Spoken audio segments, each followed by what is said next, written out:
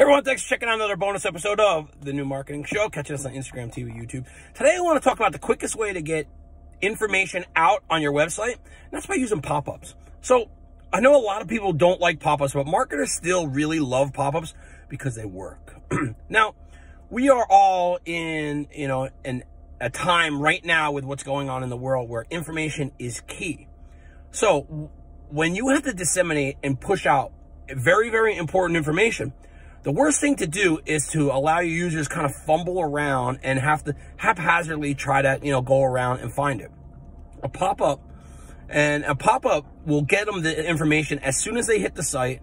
You can also set a pop-up and configure it and develop it so that it hits, you know, different pages. you know, if you have a, uh, message A relates to page B, you know, when you're on page B, you can ha have the pop-up trigger and go ahead and have that set up so that it just displays there. So pop-ups are effective. Pop-ups work. Pop-ups, yes, are annoying, but if you're respectful to your audience, but you need to get the information out, try giving them a go. Hey, thanks for watching. And for more content like this, check us out on The New Marketing Show.